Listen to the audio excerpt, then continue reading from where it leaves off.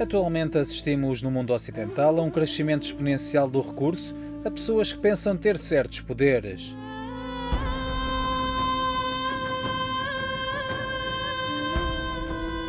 Bruxos, cartomantes, feiticeiros, adivinhos, astrólogos, espíritas e outras pessoas ligadas ao ocultismo.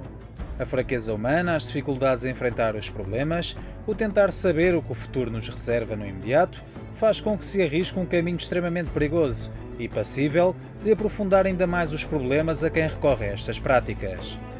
Mas quando se procura o lado oculto, o que é que se pode esperar?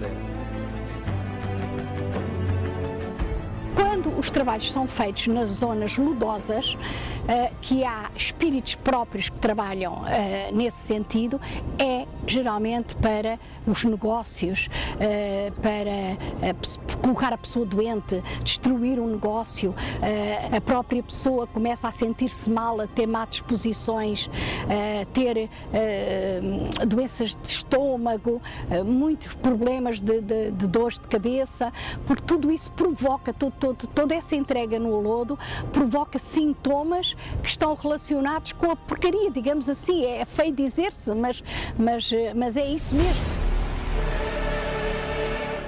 Muitos pensam que ao aliarem-se ao oculto vão conseguir ter fortuna na vida empresarial e profissional, que vão conquistar a pessoa amada a todo custo, mas principalmente que não vão ter mais adversários à altura a todos os níveis da vida. Mas engane-se, tudo o que procura acaba por dar errado esse trabalho só vai ser realmente feito quando a pessoa tem uma força sobrenatural muito forte, muito positiva, de muita luz, que consegue combater isso.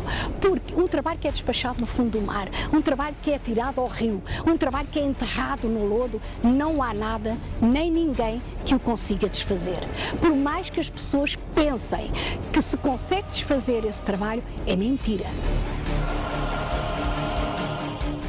Uma coisa é certa, ao entrar no tenebroso mundo do ocultismo, milhares de pessoas não só estão a deixar para trás a paz, a tranquilidade nas suas vidas, mesmo tendo imensos problemas, para enveredar por um caminho que só traz infelicidade e leva a uma total destruição física e mental.